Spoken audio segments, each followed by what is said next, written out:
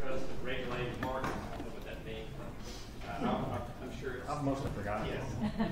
And he's a member of the board of directors of North Carolina Green Power, and he's also on the uh, executive board of the North Carolina Coastal Federation. Uh, Doug has reviewed many environmental impact statements. He's going to uh, make a few comments about that, and he's going to introduce uh, our next presentation speaker. Doug?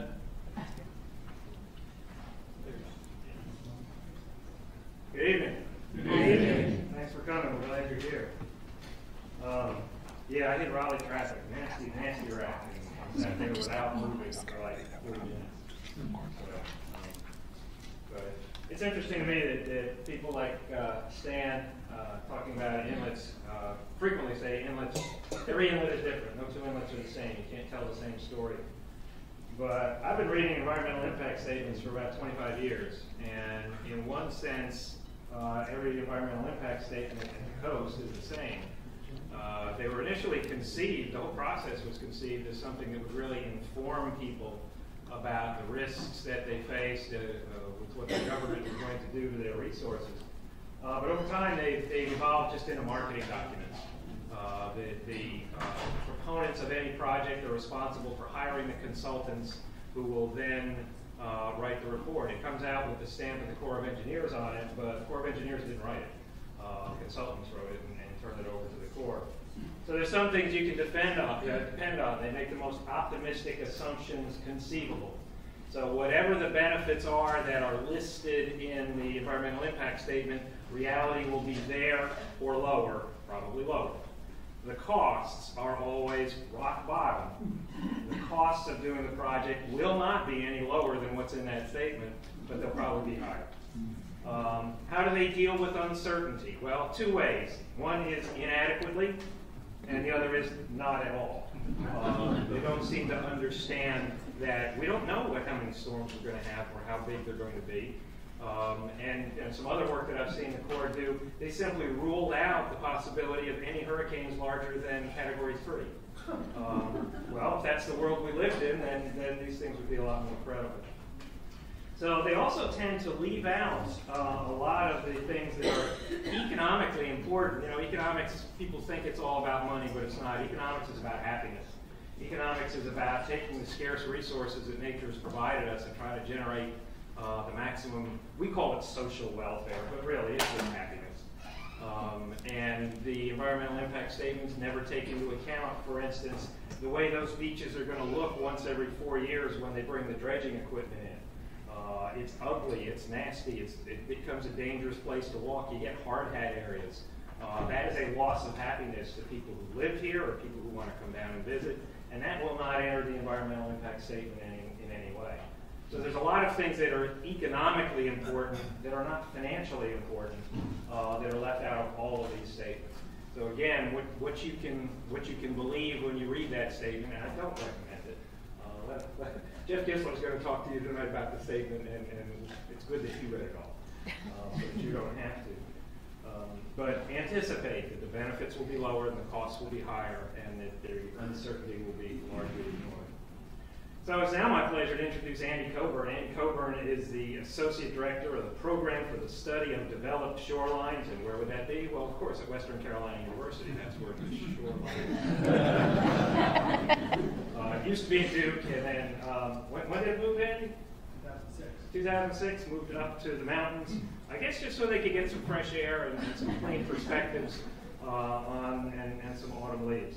So Andy's done uh, a lot of different things. He knows as much about uh, beaches and the way they move, the way they have moved uh, around the country and around the world as anybody else uh, there is. He's provided advice to the media. He's provided advice to the Coastal Federation. He's provided uh, advice to, here's a, a, list, the NC Hazard Mitigation Planning Initiative, the NC Barrier Island Planning Steering Committee, the NC Coastal Stakeholders Committee, NC State Emergency Response Team, and the list goes on. Um, so he has, he, he will be doing what, what's going to sound like an economic analysis, but really isn't. Uh, it's a fiscal analysis, a financial analysis. In particular, taking look, uh, a hard look at the tax revenues that are likely to be generated and comparing them with the uh, tax expenditures that we know will be made um, in, in support of this project. So without further ado, Andy.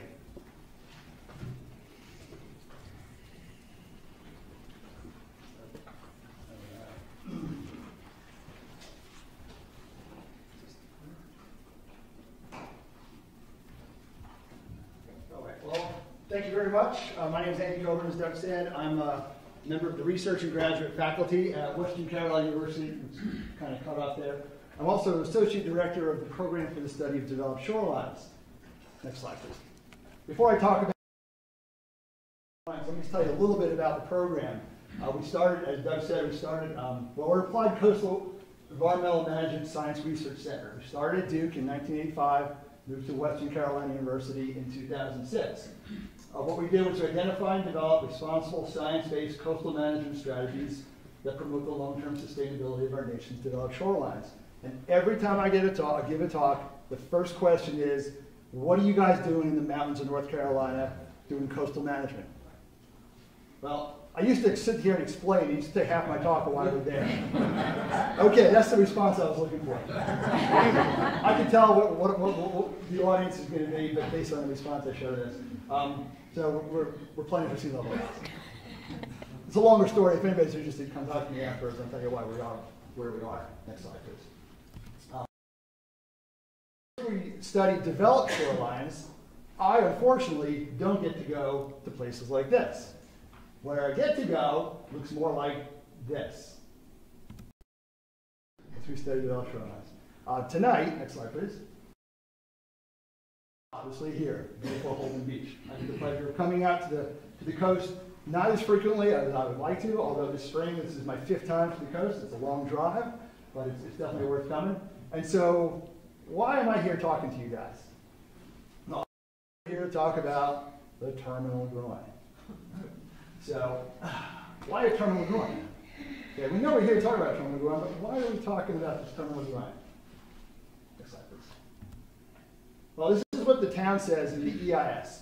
The town says um, they're seeking federal and state permits to allow the construction of a 30-year shoreline protection project that serve to mitigate chronic erosion experienced along the eastern portion of the town's oceanfront shoreline so as to protect and secure public infrastructure, roads, homes, businesses, beaches, recreational assets, and protected zones.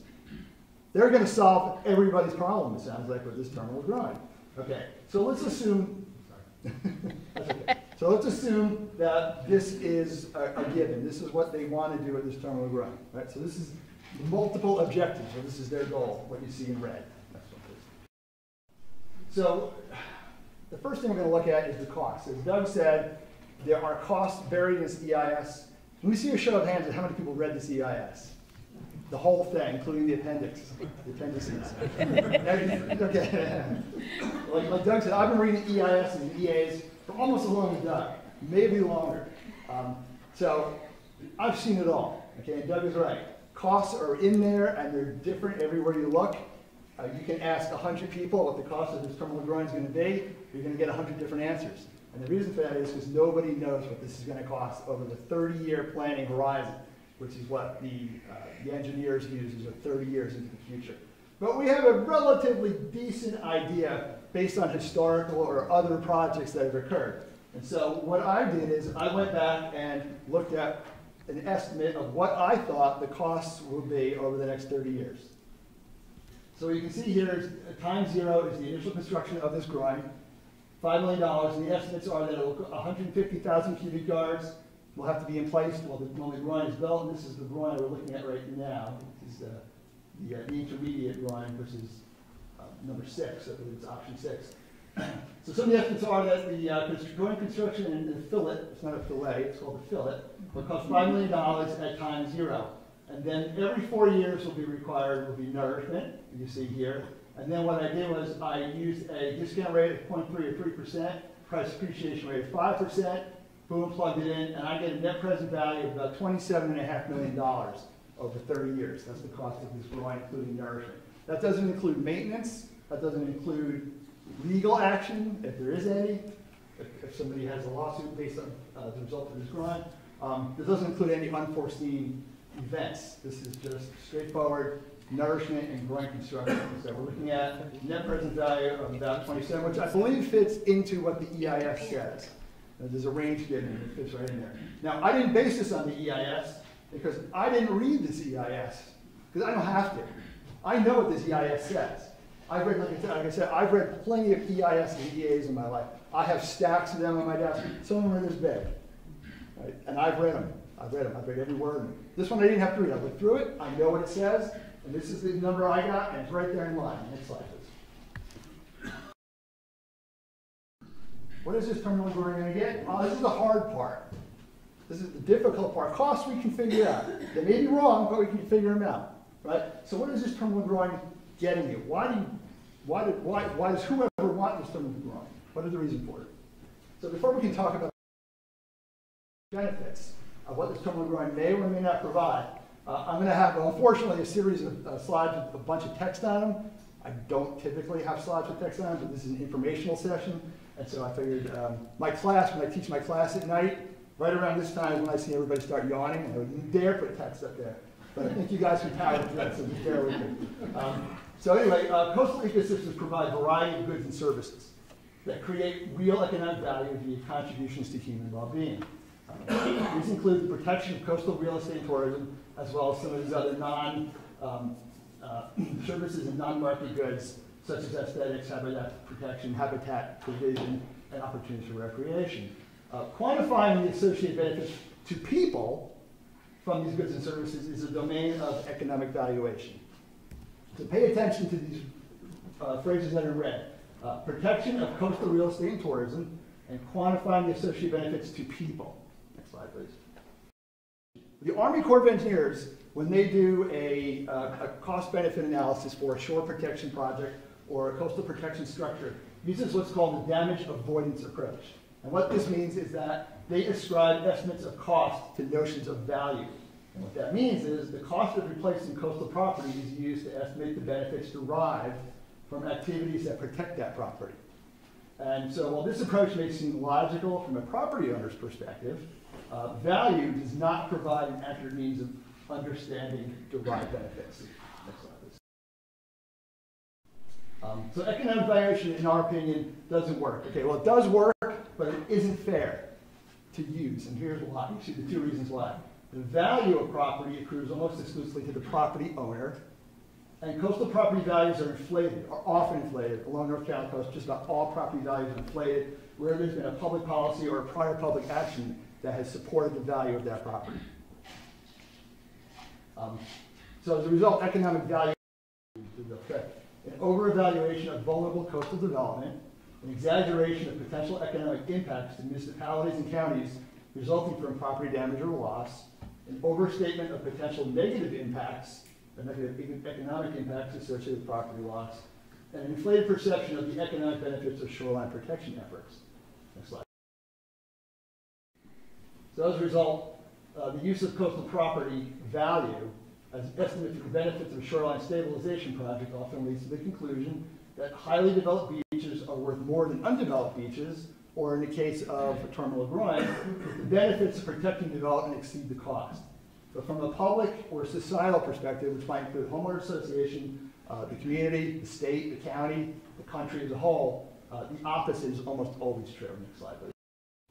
Uh, this is my last text slide, but anyway, this is important. This is, this is, this is what we believe in the program for the study of developed shorelines, is that a more accurate way to measure how much coastal development at risk to shipping inlets, which is what we're looking at here in east end of Holden Beach, um, how much that is worth to society or the public, is the contribution that this development makes to municipal, county, and state economies, measured by the ad valorem occupancy and sales tax revenue they generate. Subsequently, from a public policy perspective, measuring changes in tax revenue generated, uh, tax revenue generated um, from actions that seek to protect or remove at-risk coastal development represents a more pragmatic tool for assessing public costs and potential public benefits of shoreline protection strategies such as terminal groin. Next slide.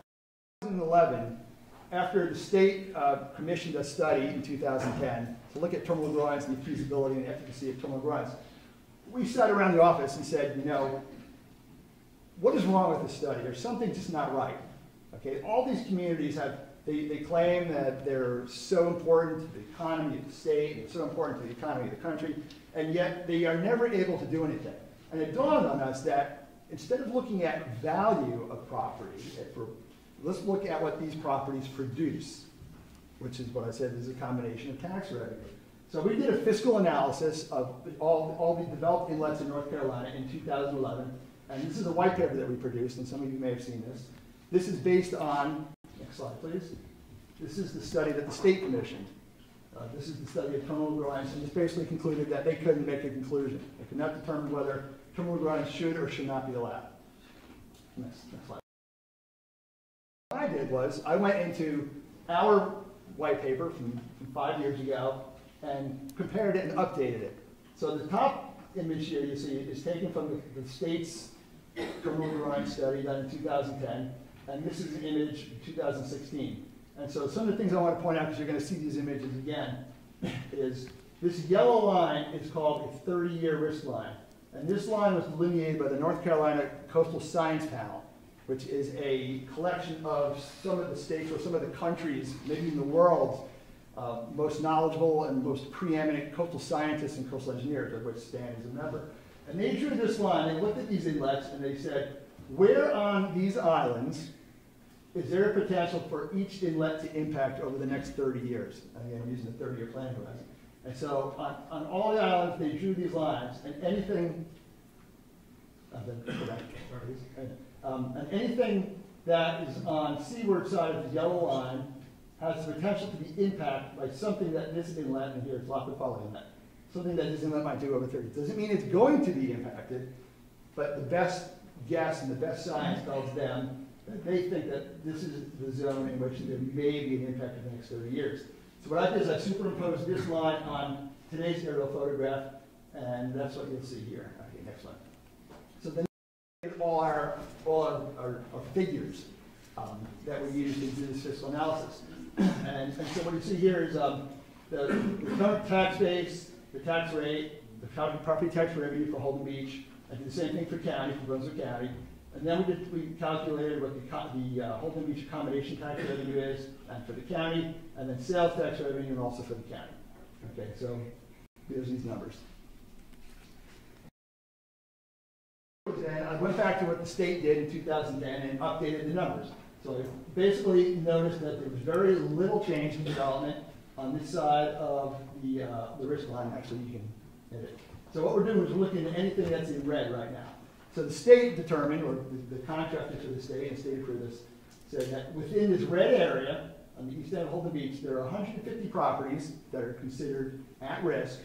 Uh, they have an assessed value of 14.627 million, which represents 1.23% of the count of the town's tax base. So all the properties in the red represent 1.23% of the Holden Beach tax base. They also represent 0.06% of the county's tax base. The total annual tax revenue generated by all the properties that you would have seen if the red wasn't here, and that includes property tax, sales tax, and occupancy tax, is right around 128 and a half million, 128,000 dollars. The net present value of that tax revenue over the next 30 years is about 5.26 million dollars. A terminal groin, if it's built, and if it does exactly what it's supposed to do, which it won't, but even if it did, it's not going to do anything for all 150 properties. That terminal groin may do is protect the properties that are right out here that are considered an imminent risk. And so you can see the state has a definition of imminent risk, and what you'll see here is these little triangles show you properties that have sandbags. So these are properties that have sandbags in front of them in 2010, and these are properties that have sandbags in them, according to the Division of Coastal Management, GIS as of yesterday, are here. Now, this may or may not be the case right now. So, from our perspective, and from a lot of other coastal geologists, think that a terminal groin, if it's going to do, provide any benefits, it's going to provide benefits to the most imminently threatened properties, which are right here. According to the state, there are 32 of those. Those 32 have an assessed value of about $3 million, which represents 0.26% of the town's tax base and 0.014% of the county's tax base. All these properties, these 32 properties, produce a total annual tax revenue of about $27,000. That's property tax, sales tax, occupancy tax. Net present value of that tax, of, of this annual tax revenue over thirty years is about one point one five million dollars. Next slide. All the properties on this side of the risk line and the properties which are imminent risk, which are the ones that are sandbagged, and actually I think there's a little more of them, that may benefit from this, from this terminal groin. So you can see a comparison that this would be uh, the best case scenario, I guess you could say. This is the probabilistic scenario, it's still the best case scenario. But you can see there's a vast difference between the revenue that would be lost if these properties went away versus the properties that are going to benefit from the terminal groin if they do benefit. Please. Um, Yeah, so here's the summary. So a net, net present value cost of building terminal groin. Estimated, I estimated about twenty-seven million. It could be more, it won't be less. Net present value of the tax revenue protected, uh, the properties that stand to potentially benefit, uh, one point one five million. Net present value of all tax revenue protected every property that you saw in that red area, that is about five million. So you can, here's a good way to compare what we think are the public costs and the public benefits. Summarize my white paper, is that a fiscal analysis of 15 North Carolina coastal counties communities showed us the following. That the contribution um, of at-risk coastal development makes to North Carolina coastal economies is minor. The impact of losing properties at risk to shipping inlets is less than perceived, or we can define it as inconsequential. Three, a strategic and equitable policy that proactively removes vulnerable development is likely to be the most economically and environmentally sustainable. So public policies and management strategies, this is going to uh, echo what Stan just told you. Policies and strategies that can overcome common economic misperceptions, provide property owners, state and local policymakers, and managers with a sustainable and equitable strategy that currently addresses economic, environmental, legal, political problems and issues facing the nation's shorelines. So in summary, um, in order to assess the fairness and efficacy of a publicly funded shore protection project, such as the Terminal Groin or Beach Nourishment, uh, it's critical to identify the societal benefits as well as the primary beneficiaries of that project. Only then can the following questions be answered. I think these are some of the questions that you're asking. Is, is this project really worth doing? Is there something else that might work better? And three, who should pay for whatever is eventually done? Next slide.